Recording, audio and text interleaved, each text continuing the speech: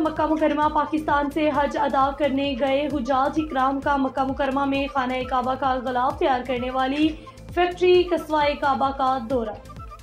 Saudi अरब मक्का मुकरमा में हज अदा करने के बाद हाजी इफ्तार अहमद की जेर क्यादत पाकिस्तान से आए हुजाज इकराम के वफद ने कस्वाई काबा फैक्ट्री, जहाँ पर खाना काबा का गुलाफ तैयार किया जाता है, का दौरा किया। जहाँ पर कस्वाई काबा फैक्ट्री के इंचार्ज शेख अहमद ने हुजाज इकराम के वफद का इस्तेमाल किया और वफद को कस्वाई काबा फैक्ट्री का दौरा करवाया और खाना काबा के गिलाफ की तैयारी के मराहल के बारे में बताया गया। वादजा Sheikh Ahmed incharge Kiswa Kaaba factory ने पाकिस्तान से आए हुए हजाज इकराम के वफद में, जिसकी सदारत हाजी इफ्तार अहमद कर रहे थे, इनको तहाइफ पेश किए और नेक तमन्नाओं के साथ रुखसत भी किया।